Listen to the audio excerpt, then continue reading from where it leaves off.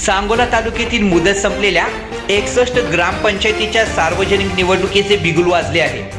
त्या दृष्टीने विविध राजकीय पक्षांच्या गाव पुढाऱ्यांनी मोर्चे बांधणीस सुरुवात केल्याने सरपंच व सदस्यपदासाठी इच्छुक मतदारांच्या भेटीगाठी सुरू केल्या आहेत. या निवडणुकीत Shivsena Rashtrawadi Congress Congress I Ripai Kawadi गट राजू शेट्टी स्वाभिमानी शेतकरी संघटना यांनी एकत्र येऊन तर शेकाप व भाजप स्वबळावर लढणार आहे. तालुक्यातील सहकारी संस्था व काही ग्रामपंचायती वगळता बहुतांश ग्रामपंचायतीवर शेकाप राष्ट्रवादीचे वर्चस्व आहे. वर्षभरापूर्वी झालेल्या विधानसभा निवडणुकीनंतर शेकाप राष्ट्रवादी काँग्रेस पार्टीत अंतर पडले आहे. त्यामुळे शेकापने सध्या एकला चलोरीची भूमिका घेतली आहे.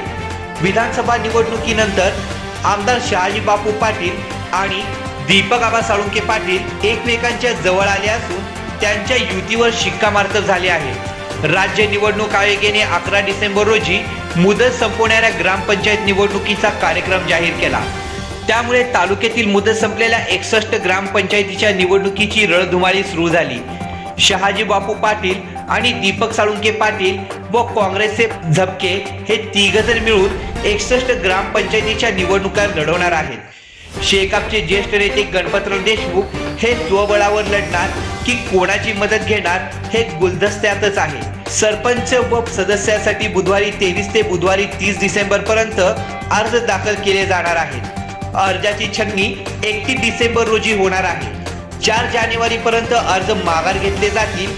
त्या दिवशी निवडणूक चिन्ह वाटप व उमेदवारीची यादी प्रसिद्धी होणार आहे.